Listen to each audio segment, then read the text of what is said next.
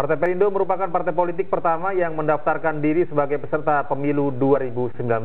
Budaya militansi yang hidup dalam diri seluruh kader menjadi landasan kuat bagi Partai Perindo dalam merampungkan masyarakat yang dibutuhkan dari tingkat pusat hingga kabupaten dan kota. 9 Oktober dipilih sebagai hari bersejarah bagi Partai Perindo serta sebagai momentum hari ulang tahun ketiga Partai Perindo secara serentak mendaftarkan diri sebagai peserta pemilu 2019. Iring-iringan pawai kebudayaan dan marching band menemani derap langkah kader Partai Perindo untuk melakukan pendaftaran sebagai peserta pemilihan umum 2019 di Gedung Komisi Pemilihan Umum di Menteng, Jakarta Pusat. Ketua Umum Partai Perindo, Hari Tanu Sudibyo, sangat bangga dengan kinerja seluruh kader yang berhasil menyelesaikan persyaratan tepat waktu. Sambil menunggu hasil verifikasi, Partai Perindo akan tetap berkontribusi melaksanakan kegiatan yang bermanfaat untuk seluruh lapisan masyarakat. Alhamdulillah, kami bersyukur Partai Perindo adalah partai yang pertama kali mendaftar pada hari ini sesuai penjelasan daripada KPU tadi.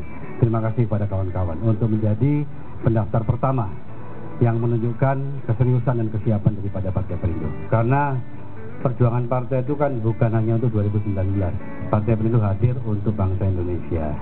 Jadi diharapkan Partai Perindo bisa ikut membangun negara yang kita cintai ini. Jadi kegiatan yang terkait dengan hal yang positif membangun dan membantu masyarakat akan terus kami lakukan sesuai dengan perjuangan daripada Partai Perindo. Bagaimana bisa mensejahterakan masyarakat. Membangun popularitas itu tidak cukup. Kita harus membangun elektabilitas.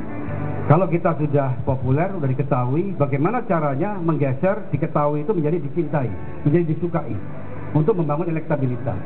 Artinya Partai Perindo betul-betul harus mampu mewujudkan perjuangannya, yaitu bagaimana ikut membantu dan membangun masyarakat yang perlu dibantu.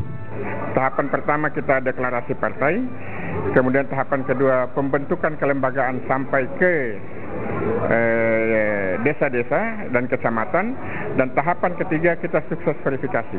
Dengan lolos verifikasi, Partai Perindo berharap bisa menempatkan perwakilan kader-kader yang mumpuni dalam menggagas kebijakan-kebijakan yang membangun. Dari Jakarta, Tim Liputan MNC Media melaporkan.